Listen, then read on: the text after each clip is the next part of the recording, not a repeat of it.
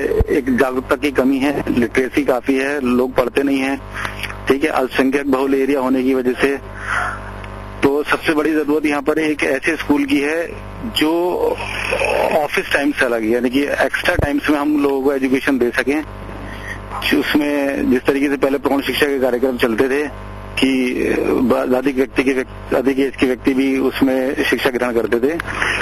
उस तरीके की शिक्षा ग्रहण के लिए हमें जागरूकता अभियान चलाने चाहिए। और सबसे बड़ी ज़रूरत जो अमरोहा के अंदर है, वो एक टेक्निकल एजुकेशन की है, कि एक टेक्निकल एजुकेशन का स्कूल होना चाहिए यहाँ पर, जिसमें हम उन लोगों को टेक्निकल एजुकेशन दे सकें और रोज़गार परक तकनीकी शिक्षा देने के उपरांत वो अपना व्यापार कर सकें या जहाँ तहाँ नौकरी प्राप्त कर सकें।